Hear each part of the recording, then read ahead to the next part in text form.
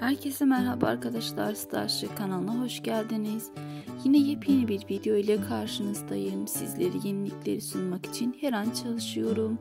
Sizler de videolarımı beğeniyorsanız kanalıma abone olup bana destek olursanız çok mutlu olurum. Maraşlı dizisinin son set gününden yepyeni görüntüleri sizler için video halinde derledim.